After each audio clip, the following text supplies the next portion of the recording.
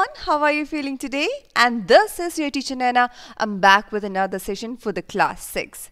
So, welcome everyone. Welcome to Swiflearn. Swiflearn is India's most sincere learning destination for the classes 1 to 10.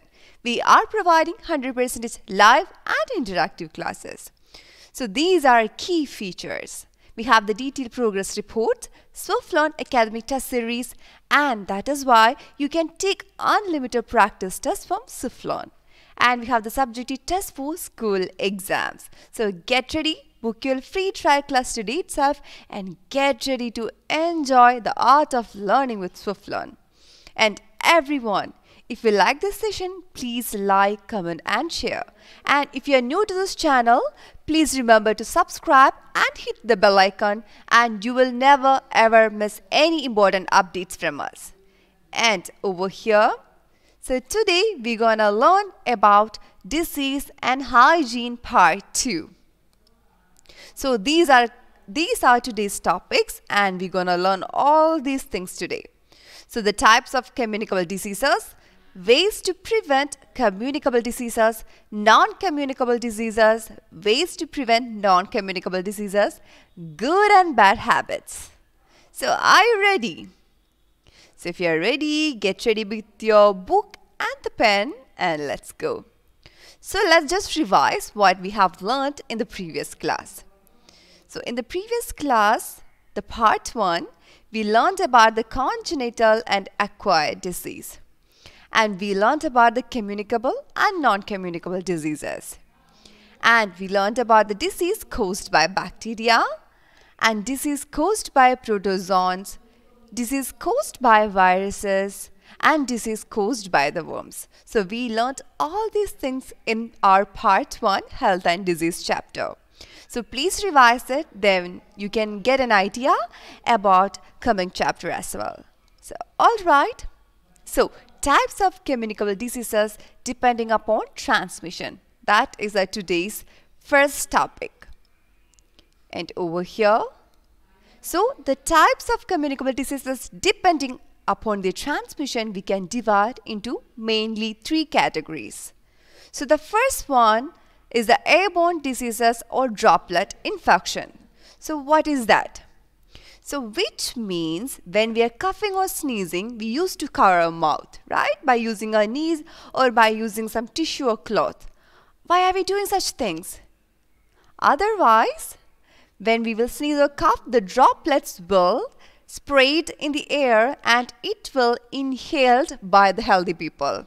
So if we are sick, the disease will transmit into the healthy person because he inhaled it already, right? So that is airborne disease or droplet infection, which will transfer through the air or transfer because of the droplets. So please remember always cover your mouth when you are coughing or sneezing.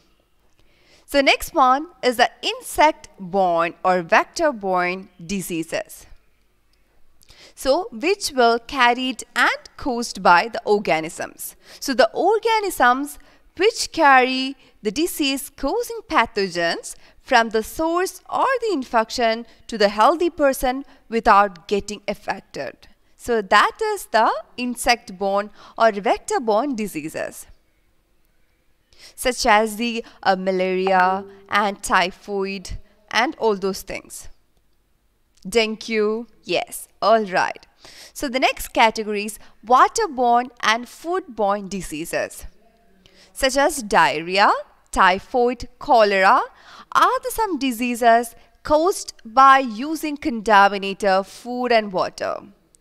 So some of the diseases can be spread or you will get sick by intaking the contaminated food and water. So make sure that you're drinking very clean water and intaking clean food. So, or always careful, don't try to buy rotten or semi-rotten vegetables and the fruits from the market because the food can lead into food poisoning because it will contain some microba microbacteria. And the next one is contact disease. Look at over here. This is the first and foremost source of spreading these contact diseases because of the direct contact. So diseases as scabies, ringworm and conjunctivitis are spread by direct contact that is the first scenario and the next one by sharing articles of an infected person. So these are the two main characteristics or the reasons behind the contact diseases. So drinking glasses, mugs, coin, door handles used by the infected persons are main source of infection.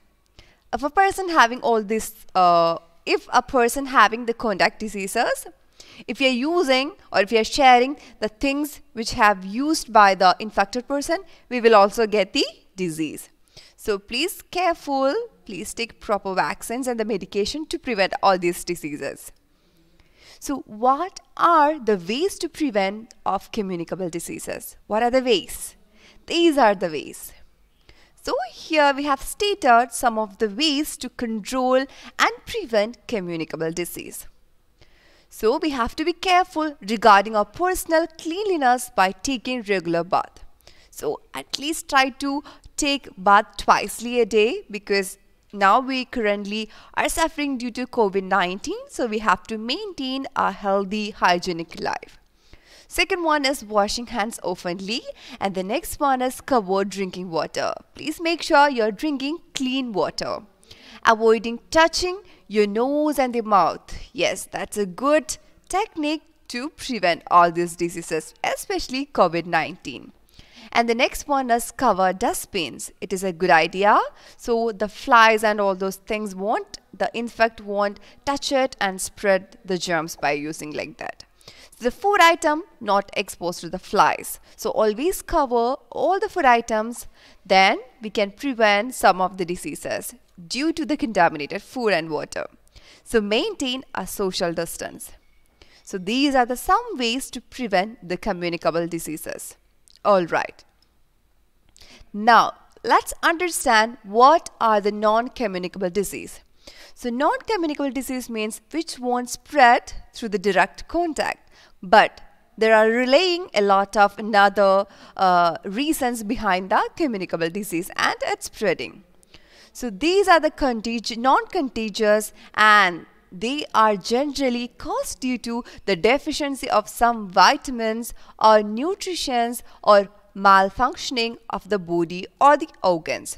So here we go. This is the statement defining the non-communicable diseases. So please write it down.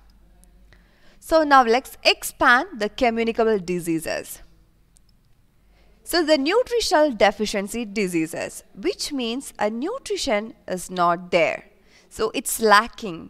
That is why these type of disease arises. So when the supply of nutrition is done in the right amount and right ratio according to the need of the body, we call it as a balanced diet. So as I mentioned earlier in my previous classes, it's really important to follow a balanced diet for a healthy living. So what is the balanced diet? Balanced diet means we will include all the nutrients such as the protein, carbohydrates, fats and water and roughage according to the need and amount. We have to be careful about the need and the amount of certain proteins or certain minerals or certain nutrients. So when the diet lacks specific nutrition, it leads to deficiency disease. Example, lack of protein in the diet leads to protein energy malnutrition.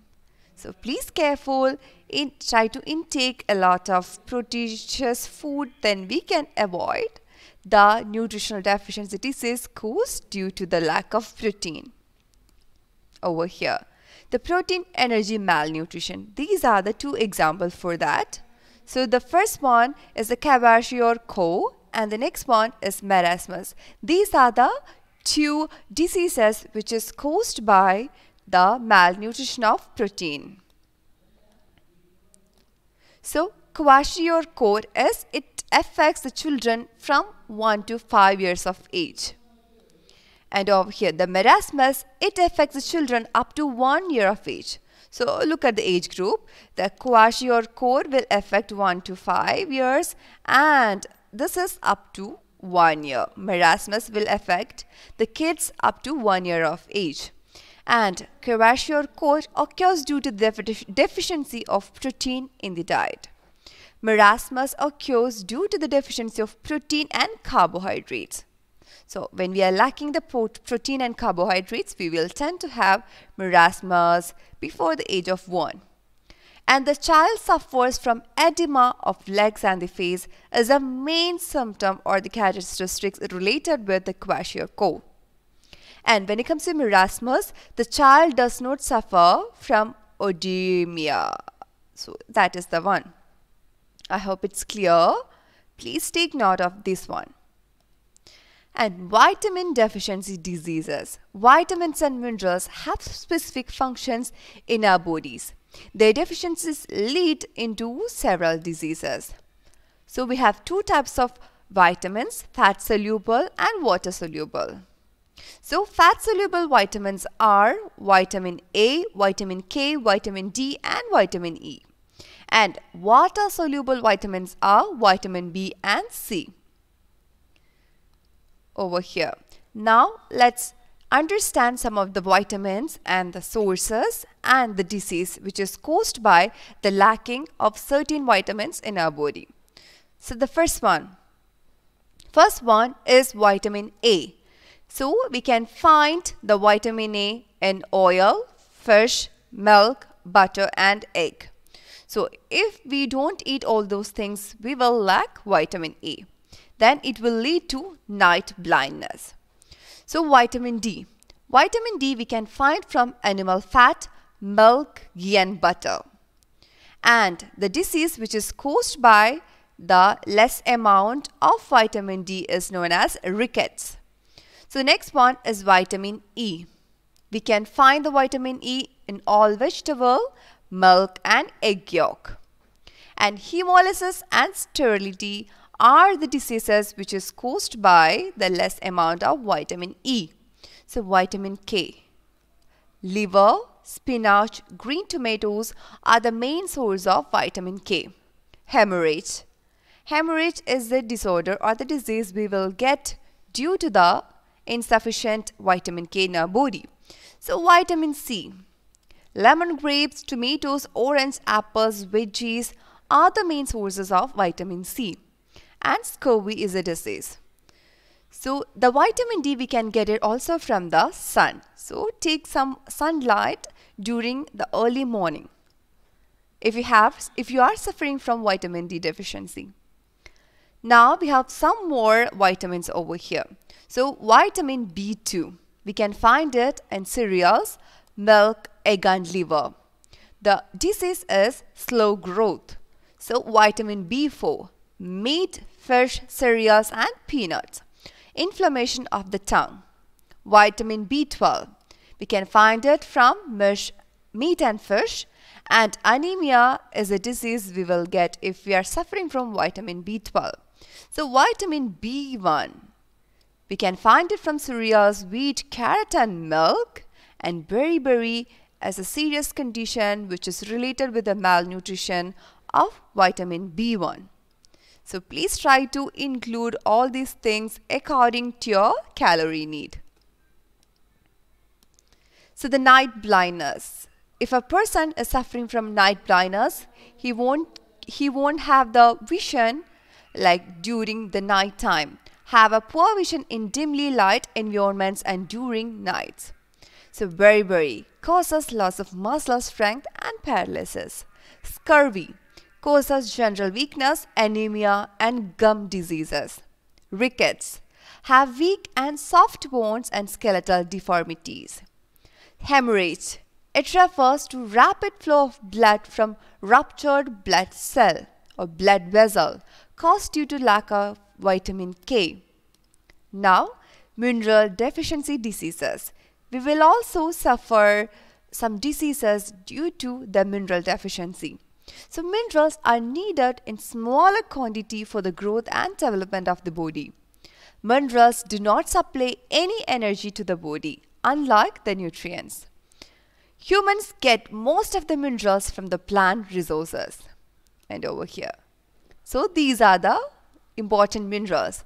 Sodium requirement is 2.5 grams. Sources are salt, milk and the eggs. Disease is muscle cramps.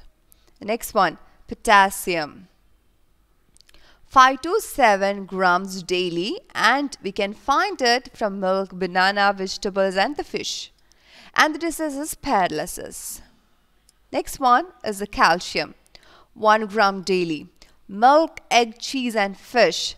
Ricket is the disease. Phosphorus 1 gram daily. Milk, egg, cheese, fish and bajra are the sources of the phosphorus. Disease is bad teeth gum problems will related to the phosphorus deficiency. And iron, 25 gram for the male and 35 grams for the female. Bajra, apple, banana, green veggies are the really great sources for the iron content. Anemia is a related disorder which is due to the lacking of the iron in our body. Alright, so we have some more minerals such as iodine, cobalt, magnesium, sodium, chloride and copper. So iodine requirement is 20 gram. Sources are salt water, fish, seafood. And the disease is goiter. You can see a lump around your neck. It's because you are suffering from goiter because the iodine is very less in your body. So we have to improve your salt intake. Cobalt. 1 milligram daily made yeast, fish and liver are the great sources of the cobalt. Pernicious anemia is a related disorder which is related with the cobalt deficiency. Magnesium 350 grams for the male, 175 grams for the female. Vegetables, grains and the seafoods are the greater sources of the magnesium and the diseases increase irritability. Sodium and chloride. Table salt, muscle cramps is related with that copper 1 to 1.8 milligrams daily. Liver, kidney and legumes are the sources of the copper. Appetite as the disease which is related with this one. And alright. So degenerative diseases. Do you know what is meant by degenerative diseases? Which means such diseases which is occurring due to the malfunctioning of our body organs of the hormonal secretion and these organs are pancreas, heart and kidney, islands and bone joints. Diabetes mellitus. So diabetes mellitus is also known as the sugar, sugar disease because which is related with the insulin level, level of our body. So it can be hereditary and lifestyle changes and can get any age the cells of pancreas secrete hormone which is known as insulin. Alright. So the insulin is related with this disease. Symptoms frequent urinate, fatigue, weight loss. Some people will tend to gain weight or some people will tend to lose weight when it comes to the diabetes mellitus. And how to prevent or how to precode or how to minimize the disease. Insulin injections and the medications are taken to control it and heart diseases. Causes are stress and high cholesterol diet. The blood vessels that supply blood to the heart muscles are called coronary arteries. Sometimes coronary arteries become very hard. It can lead into angina, which is a temporary chest pain. And how we can avoid it? We can avoid it by lowering your cholesterol and stress. Please try to do a lot of exercise daily and you can do it. So arthritis, it's a joint disease. Some people, especially the elder people, will have joint pain and everything, which is related with the arthritis. So we can divide the arthritis into two categories, such as rheumatoid arthritis and osteoarthritis. So what is meant by rheumatoid arthritis? Which just means you will have the swelling, pain and stiffness of your joints. So treatment, Take a proper rest and perform joint movements. So osteoarthritis symptoms no be enlargement of end and middle joints of the finger and it will affect hip, knees and spine. So if your mom or dad is suffering due to all this arthritis, please try to help them to do the daily chores. Alright, now cancer. So we have seen so many people are suffering due to cancer in this modernized era. So what is the cancer? Cancer is an uncontrolled cell division that leads to abnormal growth which inverts adjacent tissues and may interfere in their activities. So, uh, the branch of science that deals with the study and the treatment of the cancer is known as oncology. So, most of the hospitals have the oncology department now because a lot of people are suffering due to various type of cancer like breast cancer and throat cancer like so many more. Bone marrow like a lot of cancers are now. It is all because so many reasons and some are common like some we can identify some we cannot identify. And all right nuclear radiation overexposure to the uv rays smoking or chewing tobacco are the common causes of the cancer and over here renal diseases malfunctioning of kidney many biochemical reactions takes place in our body, right? Yes. So due to some reasons, if kidney is malfunctioning and waste materials are accumulating in our body, the condition, condition is known as uremia. Understood? Yes. So of the function of the kidney is removing the waste materials, right? So if your kidney won't work, what will happen? all the waste will accumulate in your body and this is this condition is known as uremia. So what are the symptoms? We will have high fever, headache, the patient may go to under coma and it will be very severe. So please take note of this one. Allergy. So most of the people will have allergy such as the skin rashes, skin allergy, dust allergy and so on, right? So which means we are hypersensitive to certain body tissues. Well, our body tissues will be uh, hypersensitive to certain substances. Okay, and the substances are known as allergens. Over here. Symptoms swelling on face, itching, redness on skin and sneezing. Imagine that you are allergic to the dust. So if you are cleaning something and you are exposed to a lot of dust, what will happen?